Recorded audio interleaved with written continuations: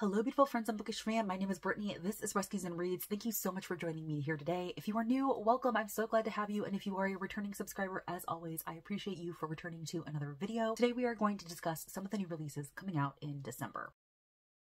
Now, I mentioned this in my book of the month prediction videos, but December is just not a great month for new book releases. When I was preparing for that video as well as for this one, I had a hard time determining what I wanted to feature in either video, and I didn't even know what I wanted to talk about because there are not very many releases and there are certainly not very many notable releases, but I did manage to come up with about 12 books that I'm going to discuss in this video. So we are going to go ahead and just jump right in, starting with the first Tuesday in December, which is December 5th. Now, really quickly, I'm going to start by making a correction to the new release video that I made for November. Now, for some reason, when I was preparing for that video, I was under the impression that The Frozen River by Ariel Lawhon was a November release. In fact, I believe I specifically saw that it was coming out on November, I think 14th. I don't know what gave me that impression. I don't know where I got that information, but as I was doing research for this video, I kept seeing The Frozen River pop up over and over and over. And I was confused about that. So I looked and it said that it was coming out on December 5th. So I'm not sure if I got my wires crossed or what, but that is actually a December release. I'm not going to talk about it here because again, I did already talk about it in that November new release video, but also I decided that since it was coming out in December that I was going to feature it as one of my book of the month predictions. So I have talked about this book in both of those videos and you are welcome to check out either one if you are interested in that historical fiction. I know that I personally am. Now, continuing on with December 5th releases, we actually have a science fiction release coming out called Yours for the Taking by Gabrielle Korn. And this is actually a release that has been getting quite a lot of buzz and I think that there is a possibility that you could see it featured on Book of the Month. It is not one that I personally decided to feature in that video, but I wouldn't necessarily be surprised. This says, the year is 2050. Ava and her girlfriend live in what's left of Brooklyn, and though they love each other, it's hard to find happiness while the effects of climate change rapidly eclipse their world. Soon it won't be safe outside at all. The only people guaranteed survival are the ones whose applications are accepted to the Inside Project, a series of weather-safe, city-sized structures around the world. Jacqueline Millender is a reclusive billionaire women's rights advocate, and thanks to a generous donation, she's just become the director of the Inside being built on the bones Manhattan. Her ideas are unorthodox yet alluring. She's built a whole brand around rethinking the very concept of empowerment. Shelby, a business major from a working class family, is drawn to Jacqueline's promise of power and impact. When she lands her dream job as Jacqueline's personal assistant, she's instantly swept up into the glamorous world of corporatized feminism. Also drawn into Jacqueline's orbit is Olympia, who is finishing up medical school when Jacqueline recruits her to run the health department inside. The more Olympia learns about the project, though, the more she realizes there's something much larger at play. When Ava is accepted to live inside and her girlfriend isn't, she's forced to go alone, but her heartbreak is quickly replaced with a feeling of belonging. Inside seems like it's the safe space she's been searching for most of the time. Other times, she can't shake the feeling that something is deeply off. As she, Olympia, and Shelby start to notice the crack in Jacqueline's system, Jacqueline tightens her grip, becoming increasingly unhinged and dangerous in what she is willing to do and who she is willing to sacrifice to keep her dream alive. At once a mesmerizing story of queer love, betrayal, and chosen family, and unflinching indictment of white corporate feminism, Gabrielle Korn's Yours for the Taking holds a mirror to her own world in all its beauty and horror. So this definitely sounds like it's going to be very heavy on social commentary. This is definitely not something that I will be picking up, but like I said, it has been getting a lot of buzz and so I thought that it would be worthwhile to go ahead and mention it here in case it is something that you are potentially interested in. Another one that's coming out on the 5th that has been getting a lot of buzz, I've been seeing it go around, is The Curse of Penryth Hall by Jess Armstrong. It seems like this might be a historical horror slash gothic mystery. I'm not entirely clear. It says, after the Great War, American heiress Ruby Vaughn made a life for herself running a rare bookstore alongside her octogenarian employer and housemate in Exeter. She's always avoided dwelling on the past, even before the war, but it always has a way of finding her. When Ruby is forced to deliver a box of books to a folk healer living deep in the Cornish countryside, she is brought back to the one place she swore she'd never return. A more sensible soul would have delivered the package and left without rehashing old wounds, but no one has ever accused Ruby of being sensible. Thus begins her visit to Penryth Hall. A foreboding fortress, Penryth Hall is home to Ruby's once dearest friend Tamsin and her husband, Sir Edward Chenoweth. It's an unsettling place, and after a more unsettling evening, Ruby is eager to depart. But her plans change when Penryth's bells ring for the first time in 30 years. Edward is dead. He met a gruesome end in the orchard, and with his death brings whispers of a return to curse. It also brings Rain Cavell, the person whose books brought her to Cornwall, the one the locals call a peller, the man they believe can break the curse. Ruby doesn't believe in curses or pellers, but this is Cornwall, and to these villagers, the curse is anything but lore, and they believe it will soon claim its next victim, Tamsin. To protect her friend, Ruby must work alongside the peller to find out what really happened in the orchard that night. So that definitely sounds kind of interesting. It's a mixture of genres for sure. It definitely has some good atmospheric vibes to it, so that is certainly intriguing to me. I haven't decided whether or not I'm going to actually add it to my TBR, but it is definitely on my radar. This next one is one that you will probably already be familiar with because it was actually an early release featured on Book of the Month in November. It is a romance called This Spells Love by Kate Robb. When Gemma gets dumped by her long term boyfriend, she reacts the way any reasonable 28 year old would by getting drunk with her sister, kooky aunt, and best friend Dax. After one too many margaritas, they decide to perform a love cleansing spell, which promises to erase Gemma's ex from her memory. They follow all the instructions, including a platonic kiss from Dax, to seal the deal. When Gemma wakes up, she realizes that the silly spell has worked. Not only does it seem that she never dated her ex, but the rest of her life is completely unrecognizable. The worst part, Dax has no idea who she is. To reverse the spell and get back to her old life, Gemma must convince her once best friend, now near stranger, to kiss her. But as she carries out her plans, she finds herself falling for him hard. Soon, Gemma begins to wonder whether she even wants to go back to the way things once were. What if Dax was the one all along? That really just sounds cute, sweet, charming. You have a person who casts a spell that basically changes her whole entire life. So again, that was one that was released by Book of the Month early in November. So you probably have seen this one floating around, but I did want to officially mention it here because it does come out on December 5th. Next on the 5th, we have a thriller called Five Bad Deeds by Caz Frear. Ellen Walsh has done something very, very bad. If only she knew what it was. Teacher, mother, wife, and all around good citizen, Ellen is juggling nonstop commitments from raising a teen and two toddlers to job hunting to finally renovating her dream home, the Meadow House. Amidst the chaos, an ominous note arrives in the mail declaring, People have to learn there are consequences, Ellen, and I'm going to teach you that lesson. Why would someone send her this? Ellen has no clue. She's no angel, a white lie here, an occasional sharp tongue there, but nothing to incur the wrath of an anonymous enemy. She never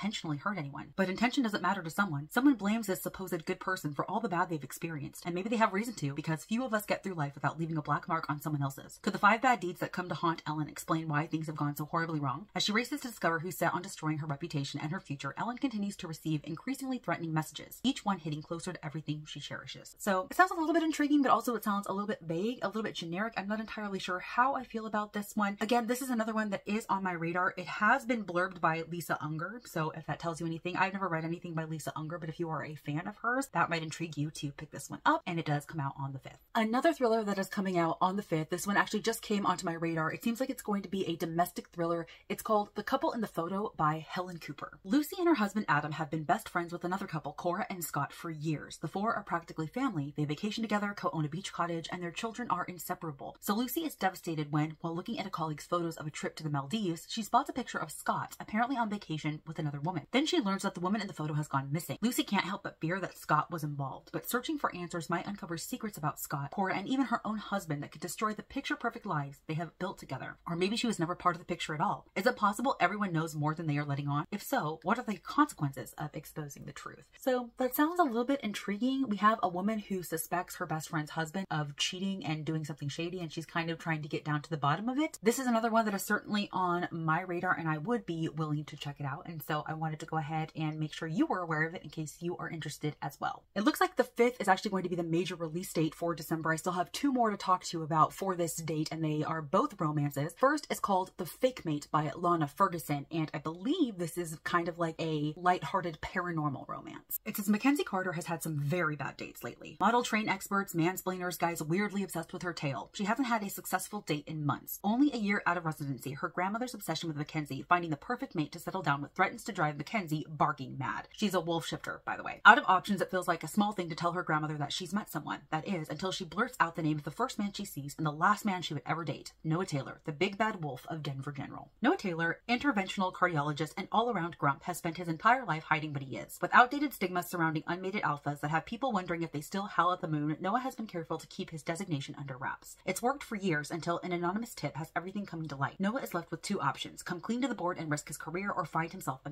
The chatty, overly friendly ER doctor asking him to be her fake boyfriend on the same day he's called to meet the board has to be kismet, right? Mackenzie will keep her grandmother off her back and Noah will get a chance to prove he can continue to work without a real mate, a mutually beneficial business transaction, they both rationalize. But when the fake mate act turns into a very real friends with benefits arrangement, lines start to blur and they quickly realize love is a whole different kind of animal. So that's a paranormal rom-com. I don't know if I've ever actually read anything like that, but we have two wolf shifters who need to be in a relationship for convenience purposes, each one needing each other for their own purposes. It sounds like could be a cute, fun time. I have never read anything by Lana Ferguson before, but this is another one that has been kind of going around. I'm seeing it all over the place. I do know that some people predict it could be a romance feature on Book of the Month for December, so I definitely wanted to put it on your radar. The final book that we're going to talk about for the 5th, another romance, and it's also another romance that has been going around and I have also seen featured in some other Book of the Month predictions is Technically Yours by Denise Williams. Pearl Harris has learned the hard way to be careful in work and in love. She has the chance to make lasting change at Our Code, a nonprofit aimed at inspiring high schoolers to code, but a recent scandal puts its reputation at risk. Further complicating things, Pearl didn't expect the one man she'd never stopped thinking about to join as the newest member of her board of directors. Cord Matthews fell for Pearl when they met in an elevator eight years ago. She's just his type, smart, capable, and makes him laugh. But when she broke his heart, he decided love wasn't for him. When they reconnect after years with no contact, Cord is tempted to consider breaking his ban on serious relationships, but going public with a romance between them might derail Pearl's career and the progress she's made at Our Code. While Pearl and Cord are both hesitant to trust their feelings and take a risk, it soon becomes impossible to keep ignoring the electricity between them. Cord is a skilled programmer, but a workplace romance might spell disaster for both of them, and love isn't easily debugged. Again, another cute, sweet, heartwarming rom-com that is coming out on the 5th if you are interested. All right, it doesn't look like I have anything for the 12th, so moving right on into the 19th, we have the newest release from John Marrs called The Vacation. Y'all, I was originally excited to hear that he had a new release coming out this year, but after recently reading his most recent release called The Marriage Act, which I absolutely hated, I'm very trepidatious about him. So y'all will have to maybe convince me to potentially pick up more from him in the future. There is just a very, very small blurb about this one. It says Venice Beach, Los Angeles, a paradise on earth. Tourists flock to the Golden Coast and the promise of Hollywood, but for eight strangers at a beachfront hostel, there's far more on their minds than an extended vacation. All of them are running from something, and they all have secrets they'd kill to keep. Very vague, very generic. It doesn't give you absolutely anything to go off of. So I'm not really sure how my interest is supposed to be piqued. But if you are a fan of John Marrs, this is his newest release coming out on the 5th. And then the only other release that I have for the 19th is one I'm not going to say too terribly much about because it's actually Heartstopper Volume 5. I'm sure that you are all very, very familiar with Heartstopper. It is a series of YA queer graphic novels, I believe, by Alice Oseman. It is a hit. It's already been adapted. A lot of people really, really love and cherish the series. I personally have never read it and I probably never will, but I know that so many people love the series. And so just in case you were not aware that Volume 5 was coming out, I wanted to go ahead and mention it here for you. This next one, according to Amazon, is actually coming out on December 25th, which is odd because first of all, it's a Monday and second of all, that's Christmas, but that's the only date I've been able to find for this book. So we're going to go ahead and go with it. The book is called Better Than Revenge by Elizabeth Adler. Twin sisters, 38 years old, each attractive and charming, one quiet and cool, the other loud and vivacious. Based in Europe, they travel the world always first class and always under a different guise. Makeup, wigs, hairstyles, clothing, accents, they can transform themselves into anyone the situation demands. Professional grifters, they con rich men who inevitably fall for their special brand of charm, style, and glamour and who later find themselves relieved of a great deal of money, cars, once even a plane. Feeling like fools, the sisters' victims rarely attempt to do anything about it, which has allowed the sisters to continue their con uninterrupted despite behind hands rumors. Interpol has been after them for years, always three feet behind these clever women, until one of them upsets the whole careful balance, alienating her twin and threatening their way of life by falling in love with a man who was meant to be their next mark. He is found dead, murdered. Did the jealous sister do it, or was it someone else entirely? An attractive, intelligent agent from Interpol is on the hunt for answers, and the sisters' game is becoming more dangerous than ever before. So that actually sounds really intriguing. You have two twin sisters, they are con artists, and that's how they go through life. But one of them, unfortunately, falls for a mark, and that mark ends up dead, and she doesn't know whether it was her twin sister who did it or someone else. And meanwhile, of course, Interpol is on their tail. So this is certainly one that I am definitely intrigued by. I have never read anything by Elizabeth Adler, so if you have read from her, please let me know what your thoughts are. But this is definitely one that I am intrigued by. And again, says that this is coming out on Christmas. All right, and then we are already at the final two releases that I'm going to talk about in this video. They're both coming out on December 26th. The first is a romance. It is called On the Plus Side by Jenny Howe. Everly Winters is perfectly happy to navigate life like a good neutral paint color,